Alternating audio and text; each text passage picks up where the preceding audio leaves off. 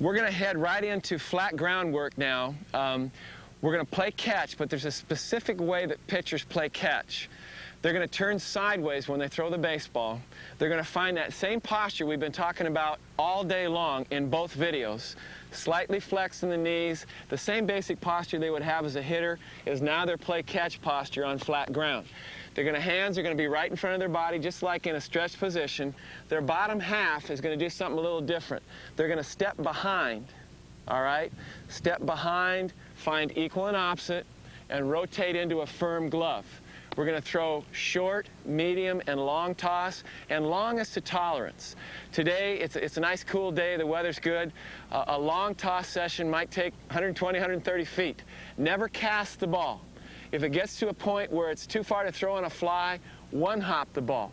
It's extremely important to understand that a release point one hopping is way better than casting. All right, with that in mind, let's go ahead and we'll start the drill.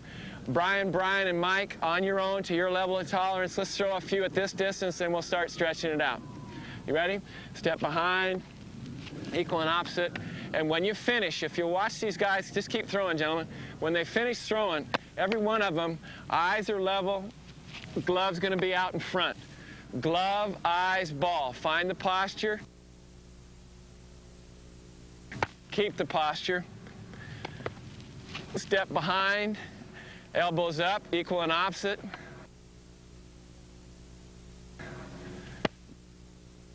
Glove, eyes, ball out in front. Now I'm going to take a second here. Hang on just a second, Brian. Let's watch uh, Brian 1 and Mike throw. Look where the glove is relative to the front foot. And the glove stays out in front. It feels rather silly when you first get it started. You will come into a feel of your own. You'll start interpreting with your own feel where that glove should be when you throw the ball. The bottom line is don't let it come away from the distance you've achieved at front foot strike. Brian, two, go ahead and throw it back here.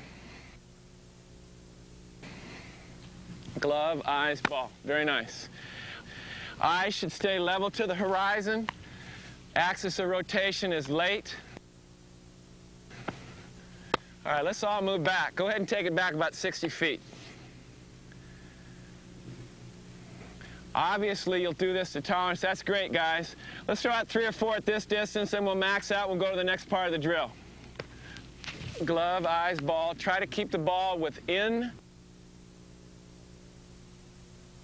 the frame of the body you're throwing to. While we're talking, I'll pick on you, Brian number one. Right or left is what? When you miss your partner right or left, I just saw you miss a ball, so I'm going to ask because I don't want to bug him. He's too close. When your partner misses right or left or you miss right or left, what is it? What he just said, if you couldn't hear on camera, it's posture. If you miss right or left when you're playing catch or throwing to a catcher off the hill, right or left is usually posture. High or low is the relationship of glove to ball getting big. What you want to do is have everything coned to a release point out in front. Let's go about three more this distance, guys. Glove, eyes, ball. Very good, Brian. Very good.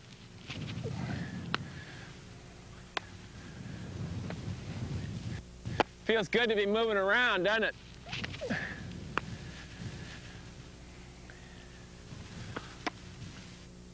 Very nice. One more each, and then take it back to a full 90 feet. Everybody doing okay? No bad throws. High or low, glove. Right or left, posture. All right, move it back about 90 feet, guys. Let's go about three or four throws at this distance, and then we'll go to our knee drill. Let her rip.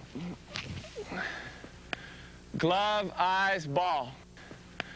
Glove, eyes, ball.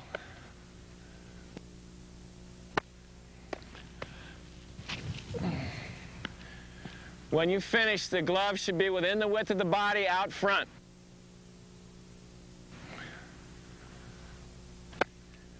Step behind, equal and opposite, glove, eyes, ball.